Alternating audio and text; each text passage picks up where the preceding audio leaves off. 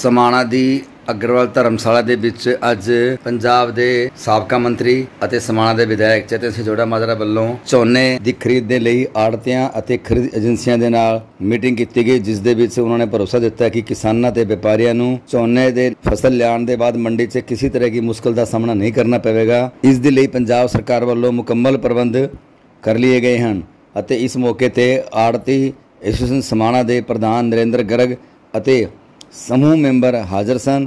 ਕਪੂਰ ਚੰਦ ਬਾਂਸਲ, ਸਾਬਕਾ ਨਗਰ ਕੌਂਸਲ ਪ੍ਰਧਾਨ ਅਤੇ ਪਵਨ ਕੁਮਾਰ ਵੀ ਇਸ ਮੌਕੇ ਤੇ ਹਾਜ਼ਰ ਰਹੇ।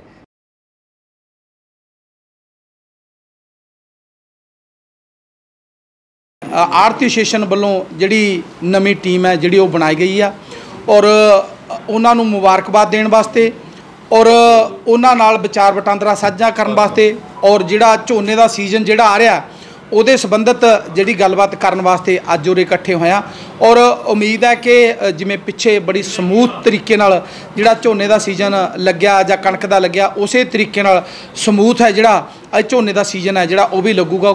ਸੋ ਮੇਰੇ ਵੱਲੋਂ ਸਾਰੀ ਆੜਤੀ ਐਸੋਸੀਏਸ਼ਨ ਨੂੰ, ਨਵੀਂ ਬਣੀ ਟੀਮ ਨੂੰ ਮੁਬਾਰਕਬਾਦ ਹੈ। ਔਰ ਇਹਦੇ ਵਿੱਚ ਸਾਰੇ ਜਿਹੜੇ ਵੱਖ-ਵੱਖ ਏਜੰਸੀਆਂ ਦੇ ਜਿਹੜੇ ਇੰਸਪੈਕਟਰ ਵਗੈਰਾ ਆਏ ਸੀ, ਉਹ ਵੀ ਆਏ ਸੀ।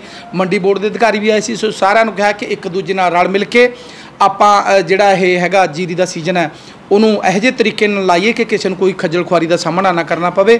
ਔਰ ਉਹਦੇ ਨਾਲ ਹੀ ਮੈਂ ਆਪ ਜੀ ਦੇ ਮਾਧਿਅਮ ਰਾਹੀਂ ਸਾਡੇ ਕਿਸਾਨ ਵੀਰਾਂ ਨੂੰ ਬੇਨਤੀ ਕਰੂੰਗਾ ਕਿ ਪੰਜ ਚਾਰ ਦਿਨ ਪਿੱਛੇ ਫਸਲ ਹੈ ਜਿਹੜੀ, ਉਹਨੂੰ ਕੱਚੀ ਨਾ ਆਪਾਂ ਵਢਾਈਏ। ਉਹਨੂੰ ਕੋਸ਼ਿਸ਼ ਕਰੀਏ ਕਿ ਪੱਕਾ ਝੋਨਾ ਹੀ ਵੱਢ ਕੇ ਲੈ ਕੇ ਆਈਏ ਤਾਂ ਕਿ ਸਾਨੂੰ ਕਿਸੇ ਕਿਸਮ ਦੀ ਕੋਈ ਖੱਜਲ ਖੁਆਰੀ ਦਾ ਜਿਹੜਾ ਸਾਹਮਣਾ ਨਾ ਕਰਨਾ ਪਵੇ। ਨਹੀਂ, ਦੇਖੋ, ਝੋਨੇ ਦੇ ਸੀਜ਼ਨ ਦੇ ਵਿੱਚ ਕੋਈ ਲਿਫਟਿੰਗ ਦੀ ਕੋਈ ਜ਼ਿਆਦਾ ਪ੍ਰੋਬਲਮ ਨਹੀਂ ਆਉਂਦੀ।